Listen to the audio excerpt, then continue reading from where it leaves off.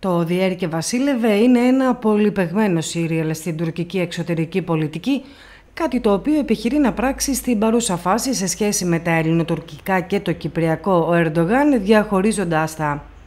Έτσι, από τη μία, ο Τούρκος Πρόεδρος καθορίζει από κοινού με τον Πρωθυπουργό μας έναν οδικό χάρτη προσέγγισης και επίλυσης των προβλημάτων των δύο χωρών, ενώ από την άλλη εμφανίζεται ανυποχώρητος για το Κυπριακό, ζητώντας μάλιστα από το βήμα της Γενικής Συνέλευσης του ΟΗΕ τη διεθνή αναγνώριση του ψευδοκράτους στα κατεχόμενα της Κύπρου. Φυσικά σε αυτή του την προσπάθεια ο Ερντογάν επικουρείται από το φίλο του προσκύμενο σε αυτόν τουρκικό μέσο μαζικής ενημέρωσης, το οποίο σε σχετικό του άρθρο για το Κυπριακό αναφέρει μεταξύ άλλων ο Υπουργός Εξωτερικών της τουρκικής Δημοκρατίας Βόρειας Κύπρου, Ταστρίν Ερντουγκούλ, μιλώντας σε ομάδα δημοσιογράφων στην Ουάσιγκτον, είπε είναι εξαιρετικά σημαντικό που ο κύριος Πρόεδρος Ερντογάν έφερε το θέμα της αναγνώρισης της τουρκικής δημοκρατίας Βόρειας Κύπρου στην ατζέντα της διεθνούς κοινότητας σε μια πλατφόρμα όπως η Γενική Συνέλευση του ΟΗΕ. Ενώ αυτά συμβαίνουν, δεν περιμένουμε ότι όλα θα αλλάξουν εν μία ανοιχτή, είπε. Ξεκινήσαμε μια διαδικασία που θα είναι δύσκολη.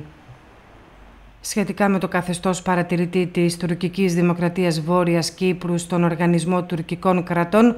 ο Ερτουγρούλ είπε ότι ήταν μια θετική εξέλιξη. Κατηγορώντας το Συμβούλιο Ασφαλείας του ΟΗΕ ότι δημιούργησε το κυπριακό πρόβλημα, ο Ερτουγρούλ είπε ότι η δήλωση του Ερντογάν ότι ο κόσμος είναι μεγαλύτερος από πέντε είναι με νόημα. Εκτίμησή μας είναι ότι με το θέμα απόκτησης των Αμερικανικών F-16 από την Τουρκία να εκκρεμεί, είναι σχεδόν βέβαιο ότι ο Τατάρ πιεζόμενος από τον Ερντογάν θα αποδεχθεί τελικά τον διορισμό ειδικού απεσταλμένου του ΟΗΕ για το Κυπριακό. Ωστόσο, εκτίμησή μας είναι ότι η Τουρκία και οι Τουρκοκύπροι δεν πρόκειται να αποδεχθούν οποιαδήποτε λύση για το Κυπριακό, πλην αυτή των δύο κρατών στη Μεγαλόνισο και γι' αυτό οι κινήσεις τους θα εστιαστούν στην ένταξη του ψευδοκράτους στον Οργανισμό Χωρών Ισλαμικής Συνεργασίας με σκοπό την εκπροσώπησή του με το όνομα Τουρκική Δημοκρατία Βόρειας Κύπρου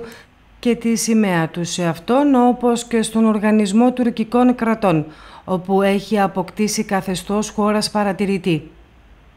Επίσης, διαβλέπουμε ότι στα πλαίσια της Ευρωπαϊκής Ένωσης, ο Ερντογάν ετοιμάζει λύση για το Κυπριακό στη βάση δύο κρατών με βάση το ενεργειακό και τον εφοδιασμό των ευρωπαϊκών χωρών με φυσικό αέριο της Κυπριακής ΑΟΣ στη βάση ενός άλλα Τούρκα win-to-win. Ευχαριστούμε που μας παρακολουθήσατε. Για να λαμβάνετε πρώτοι όλες τις νεότερες εξελίξεις κάνετε like και εγγραφή στο κανάλι μας.